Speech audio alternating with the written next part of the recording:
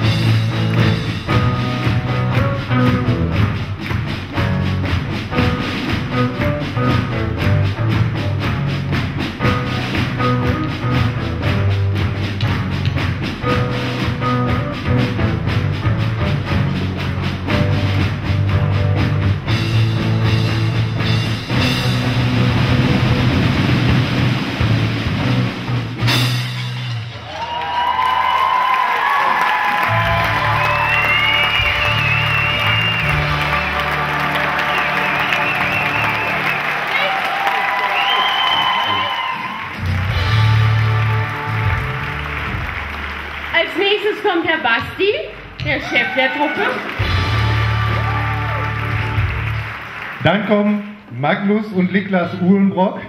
Andersrum, also Niklas und Magnus Uhlenbrock. Ja, und ich habe dann noch Henrik